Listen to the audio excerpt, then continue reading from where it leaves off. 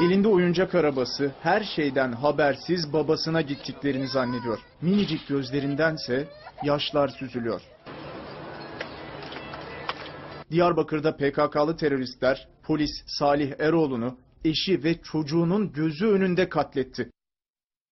Akşam saatleriydi. 30 yaşındaki polis Salih Eroğlu aracıyla Diyarbakır Hani Karayolu'nda ilerliyordu. Otomobilde hamile eşi ve 3 yaşındaki oğlu Yusuf da vardı.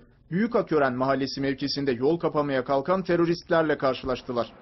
Bunun üzerine aracı kullanan Eroğlu manevra yaparak geri dönmek istedi ama polisin bu hamlesini gören teröristler araca uzun namlulu silahlarla ateş açtı.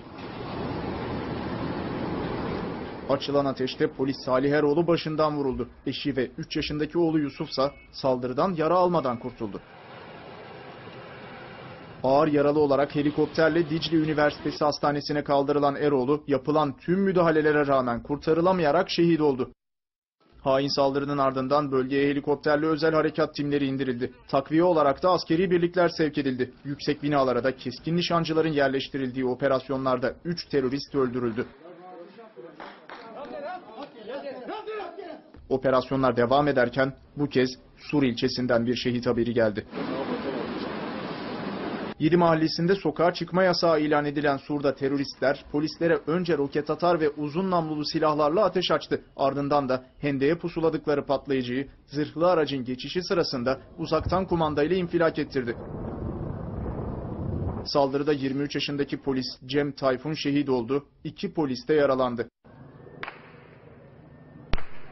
Daha 45 günlükken bakmaya başladıkları torununun acı haberini alan dede Turgut Kara gözyaşlarına boğuldu.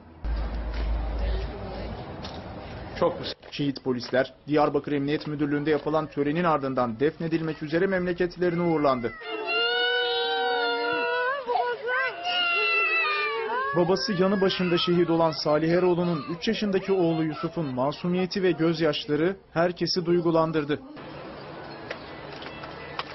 30 yaşındaki polis Salih Eroğlu, Ankara Çubuk'ta kılınan cenaze namazının ardından toprağa verildi.